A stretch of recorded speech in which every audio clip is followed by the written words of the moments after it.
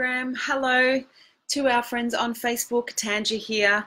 It is Monday night, 8 p.m. Eastern Standard Time. Welcome to Mindset Mastery Monday. I usually do this session at 8 a.m. Eastern Standard Time, but this morning I was doing a leadership training for the Harcourts Victorian business owners.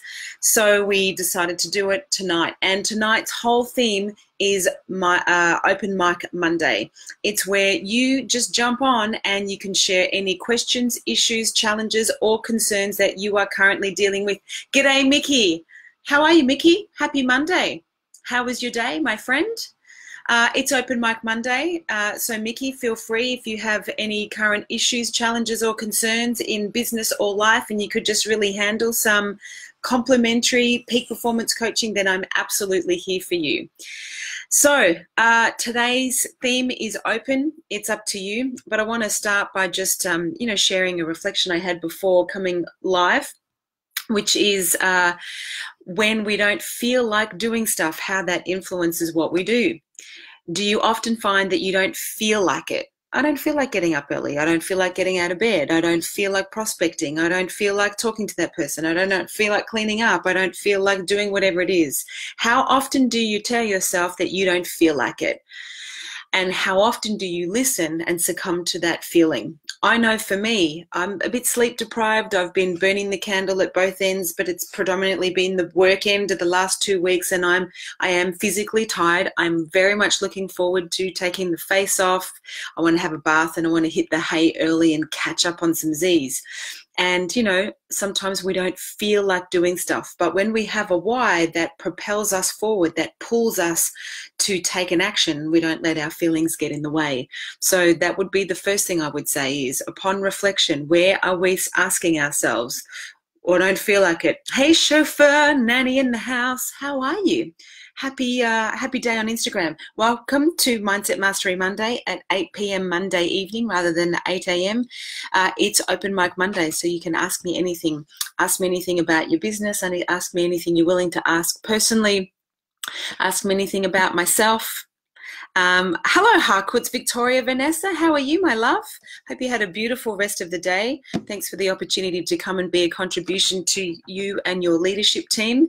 We are we you typically do Mindset Mastery Monday on a Monday morning um, at 8 a.m., but we're doing it at 8 p.m. and it's Open Mic Monday. Um, one of the things that I was taught, meaning Open Mic Monday, meaning just throw in your issues, challenges, or concerns, uh, cues, and I'll do my best to provide some A's. One of the Luke Hemmings. Hey Tanja, hope you're well. Yes, Luke. Thank you, my friend. Luke, I want to know what's keeping you up at night, my friend. What are your challenges, issues, concerns that you'd be willing to share? What are you stuck with? even if you ask on behalf of somebody else. Um, uh, we've got nine weeks to go to the end of the financial year. I'm really sorry for getting um, reflection glare off my glasses, but if I don't have these on because I took my contacts off, I won't be able to read your comments. So, Luke, I'm keen to know do you have any questions, issues, concerns, or anything at all that's on your mind that perhaps I can give you a hand with? One of the things that I spoke about this morning at the Harcourts business uh, owners meeting, thanks to Vanessa and the team, was this whole thing about how much time we spend you know, stressing, worrying, and anxious and concerned about the things that we can't control. Uh, and it's really important that you take stock of how much of your time you spend in the things that you cannot directly influence because it will zap your energy, it will drain your focus, it will inhibit your ability to make effective decisions, and it will affect your mojo and your motivation. So, you know, a lot of when I ask this question, a lot of people say anywhere from 20 to 90%. The average tends to sit about 50 to 60% of the time. So, what can you do with that time and what can you focus on? And in real estate at the moment, it's either a reasons or it's a results game. You've either got a lot of reasons why you're not performing or you're actually getting some results. Here's the thing that I notice a lot of people do though. We overpromise and underdeliver. We make our expectations way too big and then we actually aren't doing the daily small chunks time after time, day after day to build that compound effect and actually get somewhere. So if you're feeling stuck, like you're not getting anywhere, or if you're oscillating in any area of your business or your life, it's highly likely that you don't have a strategy to do the small little things to consistently build momentum and accumulate the results. Hey, Shane Anthony, how are you? Thanks for jumping on. We are doing Mindset Mastery Monday. It's Open Mic Monday where you can just ask a question uh, about business, life, leadership, communication, conflict resolution, uh, entrepreneurialism, mindset mastery, anything at all. And I'll provide my best um, uh, answer to your question. Uh, one of the questions that I've been asked is I know what to do, but I lack the motivation to do it. And when I lack the motivation to do it, I um, uh, I then kind of feel negative or I beat myself up for not doing it and then he, uh, it's like getting in emotional quicksand. So you know what to do and you're not doing it. Then you beat yourself up for not doing it. And then we just get to be right that we're not good enough which is a fundamental belief of being human right? It's actually really really tricky. And it's noisy in there. Luke's just written something which i'm going to come to. Luke I think I'll sit and listen to what you're chatting about as I'm still awaiting the outcome of the OFT decision. Ah, but as you said moments ago, you cannot you cannot overthink things we cannot control. Excited to see where the live forum goes tonight. Keep up the awesome work. It's a bit quiet tonight, my friend. Um, it is a little bit quiet, so um, you know your questions are very very welcome. But yes, I understand that um, there are many things that are playing on our mind and uh, a lot of the things that are out of our control we just need to quieten the mind. So uh, you, you, can sit back and listen luke but we'll see if there's any questions. I'm just going to share some things that i'm observing that are um, getting in people's way or impacting them and if you've got a question then i'm here for you but we will we will keep it brief tonight and you know what? Here's the thing that I said even this morning in the leadership training great leaders have fewer messages, but they repeat them often. So as you uh, think to yourself what it is that you want to achieve for yourself in your life, we need to constantly remind ourselves of what matters and what's important because we're not going to feel like a lot of the time. If I haven't mentioned this to you before, I highly recommend you get the book The Miracle Morning by Hal Elrod. It's an amazing book. The guy has literally died three times. One time he was dead for six minutes. He was told he would never walk again, and he bet the odds and walked again. And now he's just navigated cancer. And what Hal Elrod has done, and I've mentioned this before, is in his book he talks about the fact that there are six key things that if we do every morning, whether it's for six minutes or 60 minutes, it will transform the way we experience ourselves, others, and the world. And those six things can be broken down in an acronym called SAVERS S A V E R S silence or meditation, affirmation, affirming who you are, absolutely critical. We've got to be careful what we say because we are listening. Visualization statistics show that if we have a vision or a vision board or digital vision board for what we want for ourselves in our life, we increase our chances of achieving it by 67%. E is for exercise. Uh, R is for reading or listening to podcasts. S is for Hal did his research on what constitutes the most successful people, he saw that the most successful people, not just wealthy people, but people going through great endurance, athletes, you know, peak performers, entrepreneurs, thought leaders, game changers, they did either one, two, or three of these six things. They never did all six things together. So he said, well, wonder what would happen if we did all six so, savers, if you want access to peak performance, if you want to rise resilient in a world of rejection that happens in real estate, I highly recommend you get the book The Miracle Morning by Hal Elrod. There is a copy specifically for real estate professionals as well. So, the uh, one, as I said, an earlier question I was asked was, I know what to do. I lack the motivation to do it, and then I'm feeling really depressed the only thing that's going to get you out is action because we're never going to feel like it. We're never going to feel like it. I, to be honest, didn't feel like doing this before doing it because I'm sleep deprived, and I needed to get my I needed to shift my state and get into state to get up and actually be available and be of service. And I'm showing up, whether there's one person or a hundred people I will show up because I said I would. And that's what makes a really empowered operator is when we go beyond our excuses. So the that's the first part. Is go beyond how you feel. The action will supersede the feeling, and then you'll feel different because you took an action. But then the next part is stop over promising and under delivering. I have a client who um, wants to lose 20 kilos, and we created a game, but the game felt really overwhelming. So we chunked the game down to just two weeks. What's an action that she needs to take for two weeks, and just do that daily action for two weeks and win the two week game. She's unrecognizable to herself. She's up and out at I think 5:55 sending me accountability selfies every single morning and the woman's on fire.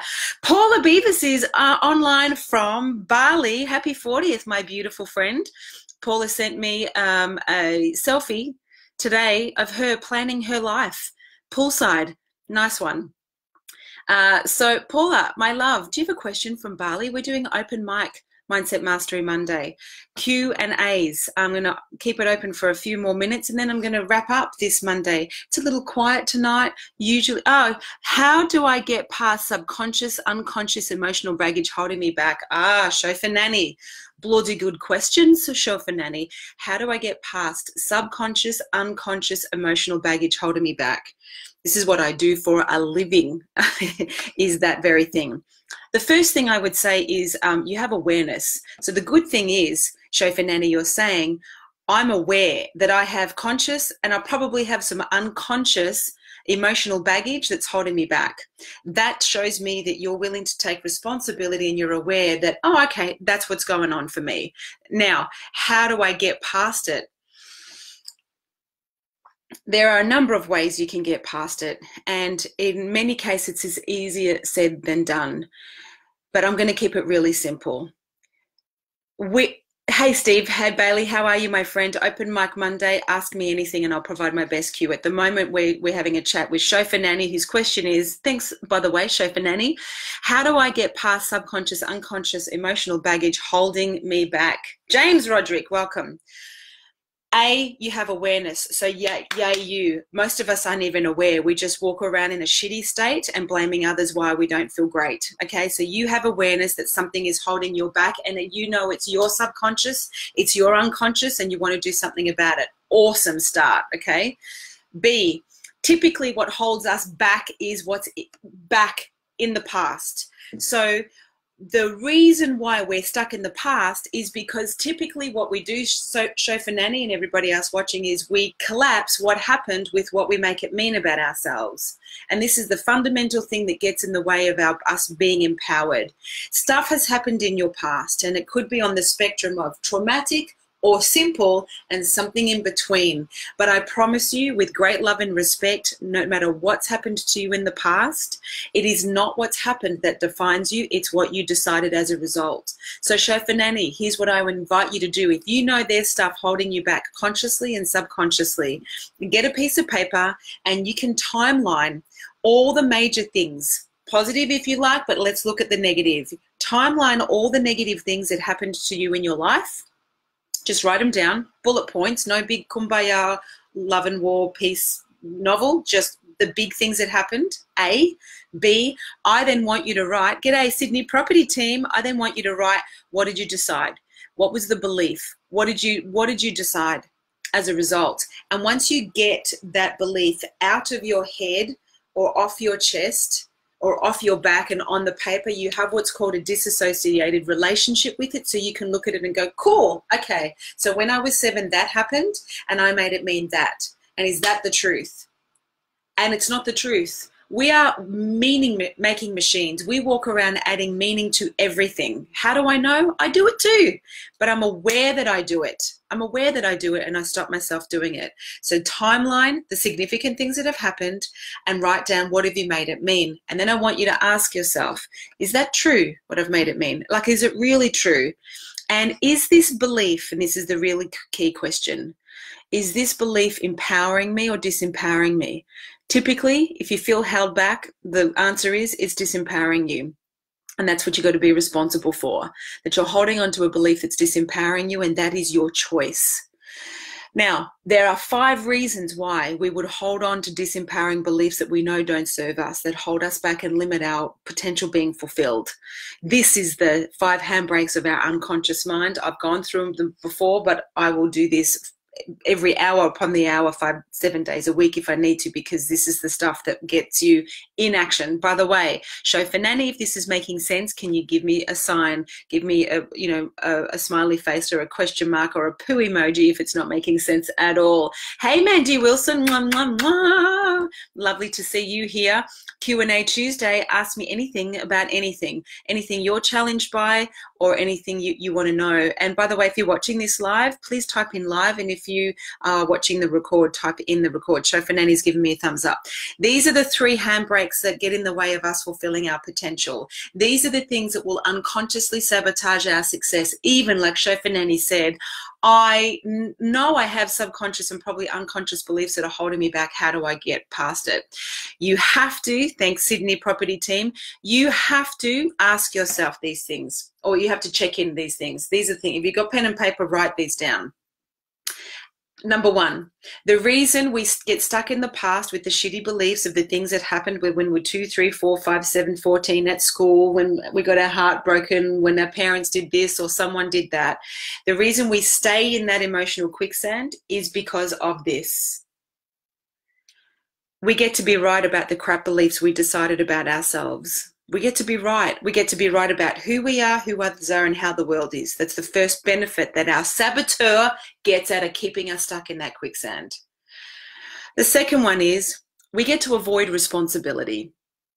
We get to blame others or a situation and not do anything about it. So we just get to avoid responsibility of doing anything about it. We get to stay there and suffer. Number three, we get to stay safe and comfortable in familiar territory that we don't like, but we stay there. Does that make sense? That's like when you see people in a relationship that doesn't serve them, but they stay in it, it's because it's what they know. And it's safe and comfortable. You don't like it. It's not empowering you. It's not fulfilling you. It's not enabling you to grow, but you stay there. We choose to be safe and comfortable in familiar territory, even though we don't like it. See which ones are resonating for you the most. Number four, we get to be a victim we get to, and a victim definition is we believe that we don't have the power to change our external circumstances. We are at the mercy of external things. We get to live our life like we are powerless. And so, why are we addicted to being right about the shitty beliefs we decided from things that happened in the past about ourselves, others in the world? Why are we avoiding responsibility for stepping up and showing up and doing what we know we could do to really change our lives and change our state and contribute to others? Why do we stay safe and comfortable in familiar territory that we don't like, that we don't enjoy, that really has an inevitable end result of unfulfillment? Why do we choose to be a victim consciously or unconsciously and act like we don't have the power and, and put all the power externally? Ultimately, here's what's really familiar between you and I. Our blood is the same color, even though our, we look different on the outside. But the other thing that you and I share completely to varying degrees is because of things that happened in the past, we've decided we're not good enough. And when we believe we're not good enough, we create significance we create drama, we create chaos, we create a swirl, we create a noise so we can have our life mean something. It's completely counterintuitive. It's not why we came here, and we are doing it unconsciously, subconsciously, and that's our ego. Our ego is just the wounded child that didn't get what we wanted to get when we were kids or growing up. We put on an armor and we go through life we think that's the way it is. And then all of the subconscious beliefs get AD. You're going to love this conversation. We had this one recently. Thanks for joining. Then all those subconscious beliefs completely influence how we see ourselves, others in the world, what we do, and what we create.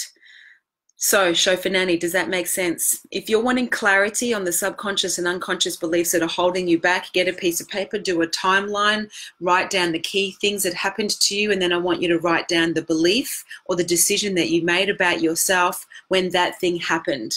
I want you to then do a stock take. Is this belief empowering me or disempowering me? Is it holding me back or moving me forward? And then make a choice to create an empowering belief Because when you consciously become aware that a belief from the past is holding you back and you choose to stay there, then that's a conscious choice. And you'll only choose that if one of those five things are a greater currency for you than something else. Chauffeur Nanny, does that make sense? Does that make sense to everyone? Tell me, just write down what did you get from that? What did you hear? Awesome, says Stephen. Stephen, tell me, what did you get from that? What did you get from that conversation? Because I promise you, we're not going to feel like doing stuff. We have stuff from the past holding us back, and we know it's holding us back, and we stay there. And I, no strategy, no TED talk, no coach, no book, no nothing is going to work unless we change our definition. Chauffeur Nanny, what is an example of an empowering belief? All right, Chauffeur Nanny, let's do the work send me a disempowering belief that you have. All right, and, and let's just do a round of applause for Chauffeur Nanny for doing the work live on Instagram um, and on Facebook. If you've just joined, g'day Adam. We are doing Open Mic Monday. It's a live peak performance coaching. You can ask me anything. By the way, yeah, it's public. So, uh, you know, like you can say, hey, on behalf of my friend, but like really take, seize this opportunity. Uh, I'm here and available. I'm helping people produce breakthrough results in their business and their life on a daily basis. I know a lot of people don't have the resources to invest in a one on one coach. I don't want that to be the reason you don't get something for yourself. So, what are you dealing with? Write it in and, and let me provide something. Okay, Chauffeur Nanny, thank you for being vulnerable and willing to write down a belief. You're saying there's no justice in the world.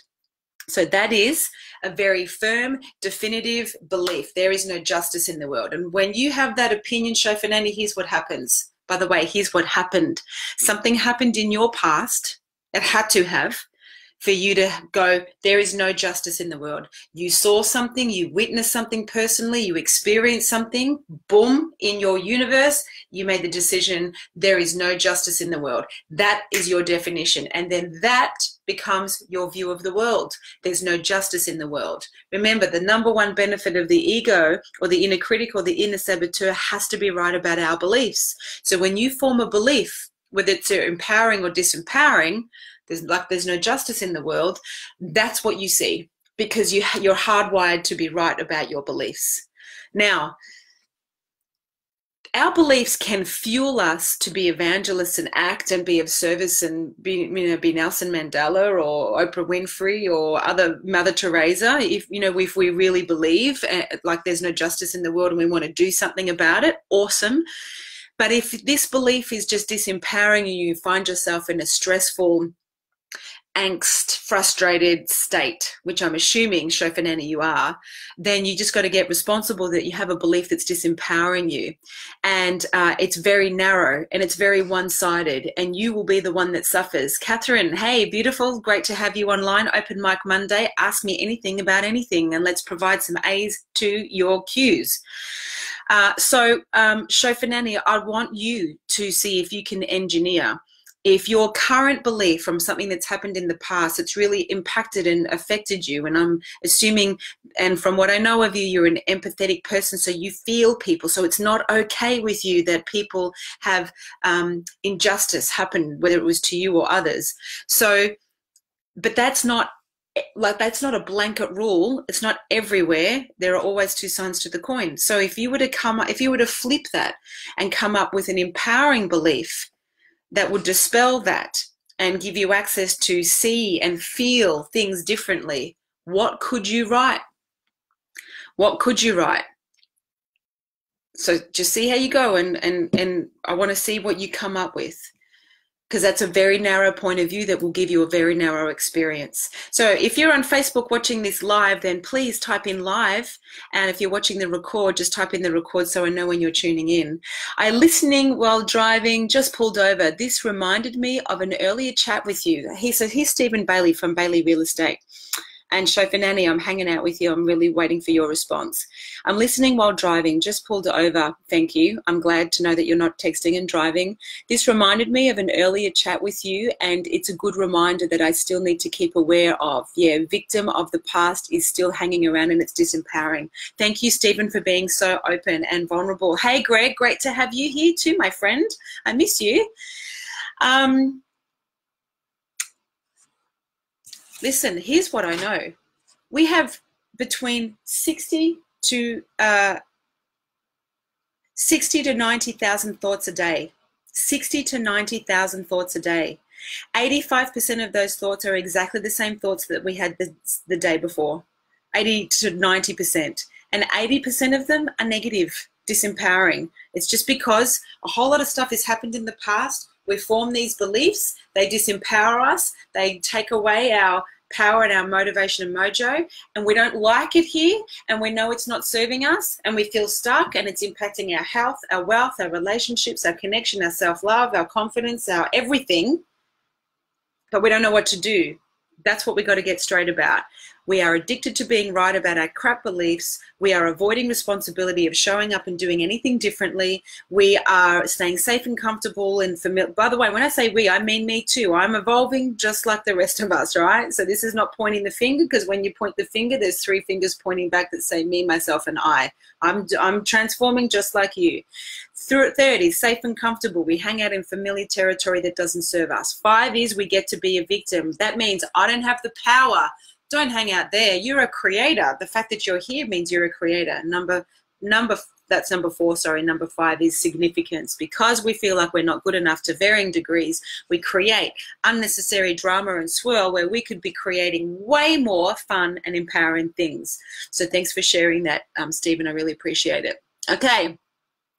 Ooh, Chauffeur Nanny. She's come up with a belief. Everything can be resolved how does that feel? I just got goosebumps. So here's your here's your being right? You're a cellular being. Every thought you by the way be careful what you say for you are listening because everything that you think and say your body receives. It, it listens. It takes it on. Now for nanny if you're walking around your life going there is no justice in the world. None then guess what? Your experience of the world will be there's no justice in the world because you have to be right about it. And guess what, Chauffeur Nanny? You will go around like a chipmunk or a squirrel in winter gathering acorns of evidence. Look at that. See, there's no justice in the world. You'll watch the news, you'll listen to the you know radio, you'll watch YouTube, you'll get on Facebook, and then someone will tell you a story and you will attract because we attract what we believe you will attract heaps of evidence so you can be right about that belief. I've asked you to flip it. I've asked you to come up with something way more empowering because it's a narrow belief. You've just come up with everything, like everything can be resolved. Boom, shakalaka. I believe that. Everything can be resolved. And everything can be resolved inside of communication. There are three reasons we get upset. There are three things that really trigger us to, to get upset in the world when we have expectations out there and they don't happen or with others and they don't happen it would feel like unjust. One two when we don't communicate something so something happens and we don't communicate our perspective our point of view our pain our thoughts and we swallow it and we disempower ourselves you better believe it's going to make us upset and the third one is when something interrupts our intentions being fulfilled, it's outside of our control. So, so Chauffeur nanny, yeah, connection and communication. That's what's possible when you change your belief to everything can be resolved. So whether there's no justice in the world happened to you, others, or, or you know someone close to you, that belief will limit you to be right and suffer, and it keeps others suffering as well. When you flip and create an empowering belief like everything can be resolved, and it can be resolved inside of connection and communication, bang on. The next piece is courage. Are you courageous enough to have the conversation? Are you courageous enough to speak your truth even if your voice shakes? Are you courageous enough to jump on Facebook Live with no agenda, no script, no predetermined questions? I have to tell you guys, it's it's a vulnerable act to just say, "Hey, listen, I'm going to jump on Facebook Live, and you know, I have an ego too. So if people jump on and jump off, my ego is going, they don't like it. This isn't adding value. I'm waffling. This is not landing. It's not making sense. I could look really good and have some predetermined questions to make it seem like I'm super popular and I have people flooding these to me all the time and then I could try to impress you. Or I could be really vulnerable and stand here live on Facebook and go, I'm available for you. I'm here for you. Really, I just don't believe in that crap of let me have it all looking perfect and sorted. I'd rather be here going, guys, I'm available for if you've got any questions. I'll share some stuff that I learned today, that I experienced today, but I'm not just going to waffle to fill space because I want this to be valuable. So, does that make sense? Does, does that make sense? Let me know. Give me a thumbs up if that makes sense. So, I'm going to give this two more minutes. And um, that's what we love about you. Ah, thanks, Chauffeur Nanny. Did that provide something for you? Um, and you can do this with every belief. I do really recommend timeline the significant things that happened to you, write down what you made it mean, what's the fundamental belief that you formulated as a result, and then then flip it. You either want to be addicted to being right about it or you flip it and you create a new and empowering belief. David, g'day, David. Great to have you tune in. So I'm going to give this two minutes. You got two minutes, guys. Have you got any questions or concerns, especially if you're in real estate and you're currently navigating all those external things like the election coming up, negative gearing, banks tightening up lending, buyers, vendors cooling, competition, disruption, artificial intelligence. Is that on your mind? Or is there stuff also that you're dealing with that you would like a hand with? Because I'm going to stick around for a minute 30 Grant Mullins in the house. Talk about a man of positivity, always making beautiful comments on Instagram and Facebook. Grant, we are talking open mic night. This is where people send in their cues or ask their cues, and I provide my best peak performing A's.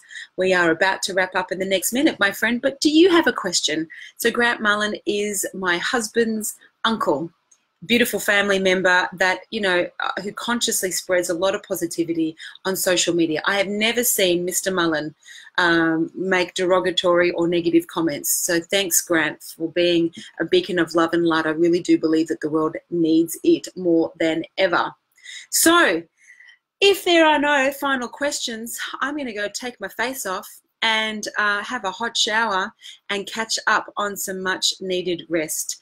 Please know that if you are uncomfortable using an open and public forum to ask any question, and that may be the reason why you don't, then uh, send me a DM or flick me a comment, and um, it's a direct message or email me at Tanja, T A N J A, at TMJ Coaching, and I will absolutely reverse engineer a Mindset Mastery Monday session for you without mentioning your name, your brand, and where you're from. I'll just answer the question as best as I can. And if I feel I don't have the skill or ability or wisdom to answer it, I'll research the answer for you and I'll provide it. Uh, or I won't be tagging you. So all you just need to do is tune in. So I am uh, doing Mindset Mastery Monday every Monday, 8 a.m. Eastern Standard Time until tonight when I did it 8 p.m. because I did a, a speaking gig. So also Hey, Akshay. Uh, also, Friday is Rapid Fire Friday, where I reflect on the coaching sessions that I've had all week. And um, I won't be doing that this Friday because I'll be speaking at the Real Estate Institute of South Australia gig. Oh, look at all that love, Akshay. You're a beautiful soul. So, with that, my friends, um, I bid you adieu. Have an amazing week. And as I like to say in the words of Maya Angelou, people will forget what you said. People will absolutely forget what you did, but people will never ever forget how you made them feel. So thanks for joining me for a conversation without an agenda. Thanks, um, Chauffeur Nanny, for being brave and bold enough to answer, ask a question and do the work live on Instagram. Thanks, Stephen, for pulling over and for sharing that this was a good reminder for you and for everyone else that just jumped on and just were listening in the background. It's nice to know you were here. Whether there's one of you or 100,000 of you, I will show up no matter how I feel because I love you and I want you to be happy and live deeply fulfilling lives. Have a beautiful Monday night. Have an amazing week. Reach out if you need. I'm here for you. Take care and ciao to you on Facebook.